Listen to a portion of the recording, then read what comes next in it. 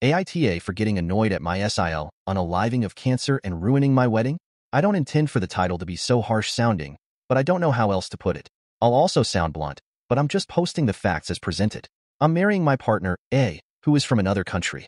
Her sister, B, is unaliving of cancer. It is heartbreaking, and she is a young mother and wife.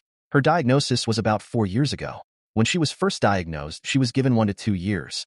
Since we were in a different country, as she, Remained in her home country with her family after her sister, A, immigrated, we saved up some money and traveled to say goodbye to her. It was about the 1.5 year mark when we went to say goodbye, and we had gotten engaged soon beforehand. So we also went over to visit some of the family and asked them how long they needed to save to come across for our wedding, as our dollar is much stronger than theirs. They said two years, so that was agreed. We spent a month with her, laughing, lamenting, spending as much quality time as possible with her. By the end of the trip, though, and with the chemo, she was exhausted. We said our heartbreaking goodbyes, assuming to never see her again. And then she made a miraculous recovery, with a less than 1% chance of happening, which was awesome. We, along with her other family members who had also immigrated, such as her father and brother, decided to put money together and support her to move over here to spend the rest of her life with us. That was about a year ago. Now my partner and I are getting married in two weeks. All of her family are coming to visit. It's a big joyous occasion with lots of travel. We forked out thousands to help her family get here. And they're all staying for a month or so to celebrate our wedding and spend time with us.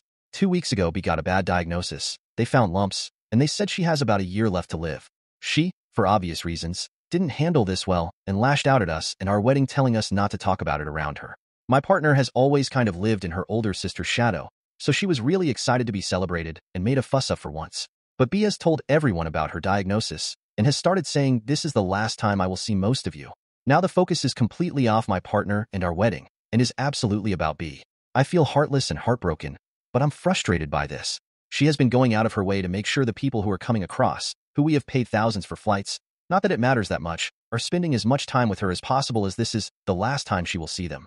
Now this period of joy and celebration has an undeniable black cloud hung over it, and people very obviously have stopped making my partner feel special. On top of this, B has maintained her stance that we not talk about our wedding around her. But the big issue is that B got married during COVID, so never got a father slash daughter dance. She wants to have one at our wedding, after my partner has a father slash daughter dance, with her own song which, to be honest, is sad. I have said no, because my partner wanted to say no but felt too guilty, so I had to be the bad guy.